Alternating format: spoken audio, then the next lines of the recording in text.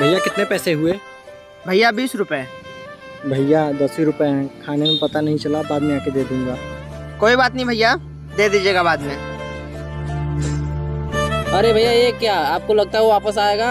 अरे भैया आ जाएगा। दस रुपए का सवाल था दे देगा बाद में। अरे भैया आप कर चुके दुकानदारी। अरे भैया वो नहीं देगा तो कोई और आके उससे भी ज़्यादा दे के चला जाएगा। भैया बहुत लेट हो रहा है जल्दी से दस फुल्की पैक कर दीजिए। ठीक है मैडम जी। लीजिए मैडम जी। भैया लीजिए पैसे।